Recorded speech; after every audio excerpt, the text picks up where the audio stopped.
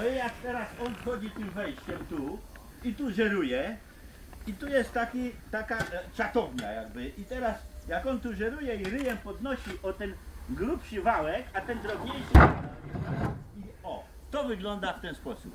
Praktycznie i teoretycznie. I dzik siedzi w środku wodłowni. I za pomocą potem tego rękawa, tak jak sami panowie widzieliście, wkłada się go do klatki i jest transportowany poza teren Warszawy. A jak to możliwe, że on wyskoczy czasami stąd?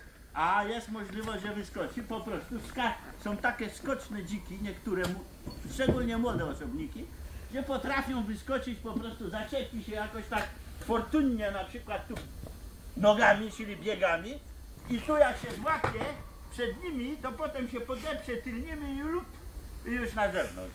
Podłowni jest.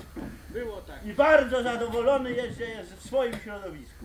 Więcej, A bardzo jest źle, bo dokucza mieszkańcom. Dobra, daję panu